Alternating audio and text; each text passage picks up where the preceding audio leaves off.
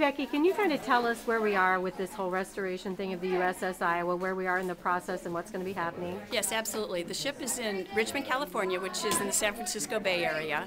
They have taken off a lot of the teak deck.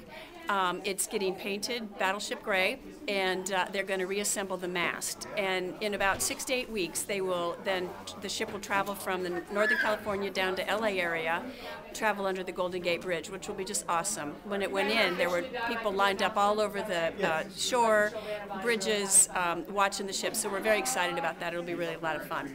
And it uh, is scheduled then to open up uh, to the public the week of the 4th of July down in Los Angeles, San Pedro.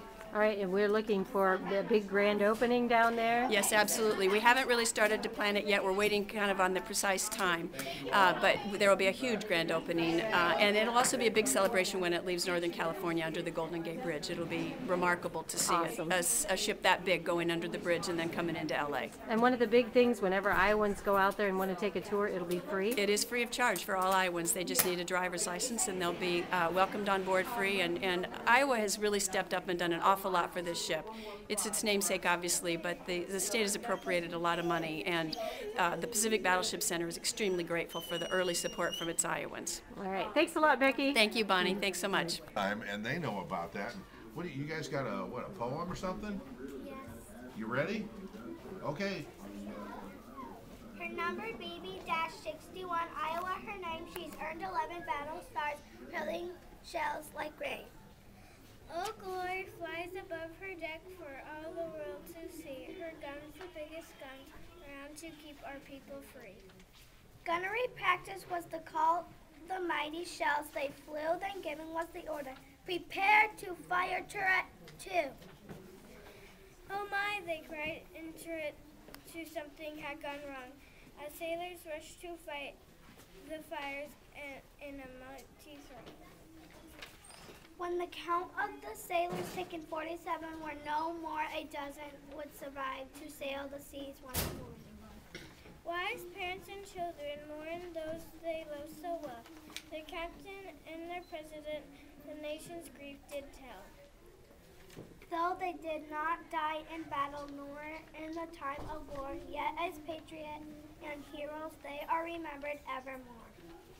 Seeming nearly human, Iowa recalls every name and cries out, Oh dear patriot, your deaths are not in vain.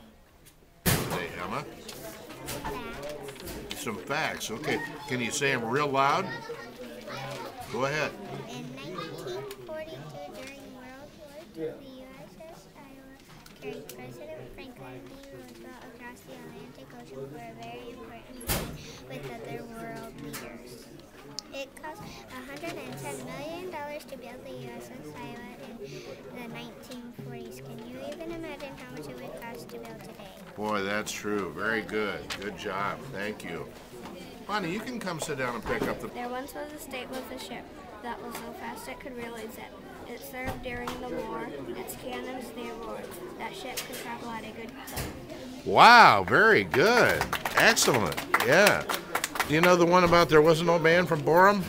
No. That's probably just as well. You don't want to know it either. Battleship, big, powerful, traveled, fired, decommissioned, Navy, missile, sailors, Naval Museum, commissioned, served, sailing, fast, historic tugboat. Very, very good. Thank you. Ooh, man, these kids are sharp, aren't they? Who, uh, you were a crew member on the USS Iowa? Yes, I was on there from 1956 to 58. I put it out of commission in Philadelphia, Pennsylvania. What was that like living on something like that? Well, it was really nice. I stayed down, I had a quarters up on the main deck, and you had to watch it when we had rough seas to get into the compartment. Sometimes we couldn't even get in there. We had to stay inside the ship during the rough seas.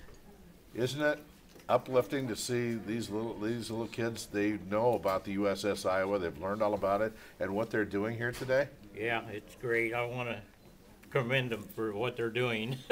Well, we want to commend you for what you've done for the United States of America. Thank you for your service. okay, thank you too. We have uh, some girls here. I want you to hear from them because Hannah and Hayden Van Houten are here. Hi, girls. How old are you? Um, I'm 13. And you're? I'm nine.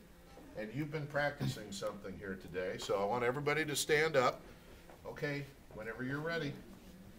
Oh, say, can you see by the dawn's early light what so proudly we hailed at the twilight's last gleaming, whose broad stripes and bright stars through the perilous